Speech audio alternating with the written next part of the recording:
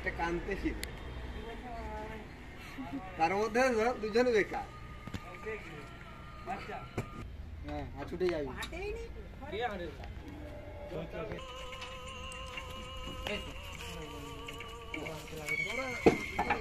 বলছিল দিয়ে দিলে পয়সাটা একলাই লাগাই একলাই লাগাই